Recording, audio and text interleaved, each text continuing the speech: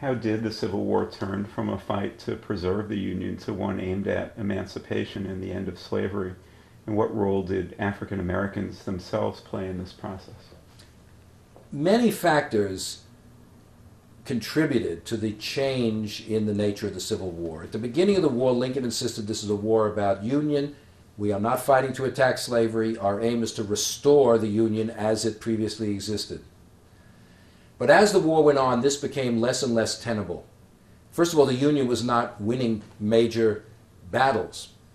Many Northerners began to say, let us attack the infrastructure of Southern society, the economic base of slavery that enables them to feed their armies and mobilize their resources.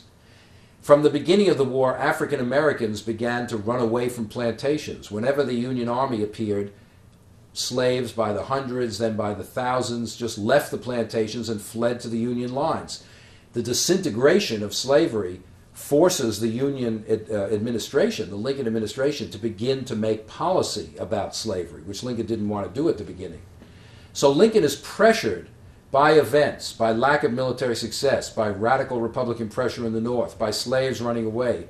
He's pressured by events to begin the road to go down the road to emancipation, which of course he does.